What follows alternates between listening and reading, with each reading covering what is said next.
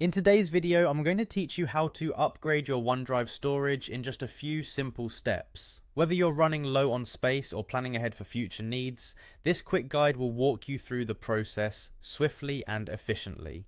So, let's get started. First, we need to navigate to the OneDrive homepage. Think of this step as opening the front door to your digital storage world. Ensure you're logged into your Microsoft account so you can access your OneDrive files and settings. If you're not logged in yet, go ahead and do so now. Once you've reached the OneDrive homepage, you'll see an overview of your files and folders.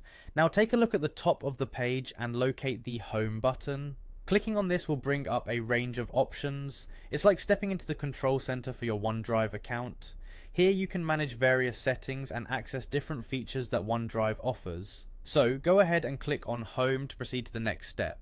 Once you've done this, you'll notice an option labelled Buy Storage. This is your gateway to expanding your storage capacity, and it's usually positioned for easy access, so you won't have any trouble finding it. Click on Buy Storage and you'll be directed to a new page that outlines all the available upgrade options tailored to meet your needs.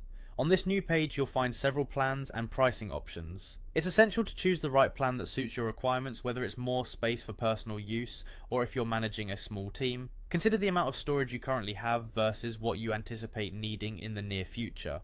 Once you've made an informed decision, look for the Buy Now button and click on it. This will redirect you to a secure payment page where you need to choose your preferred payment method. Make sure that your payment details are up to date and enter them accordingly. It's always a good tip to double check all your information before submitting to avoid any issues that might delay the upgrade process. After completing your purchase, the additional storage is added to your OneDrive account almost immediately, and you'll be notified once the transaction is successful. You can confirm the upgrade by checking your account settings to ensure the new storage reflects correctly. This is a straightforward process that maximizes your efficiency and keeps your digital life organized and uncluttered. And there you have it, you've successfully upgraded your OneDrive storage effortlessly.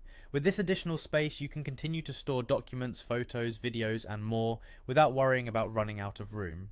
Thank you for watching and be sure to check out other videos for more tips on managing your digital tools and lifestyle effectively.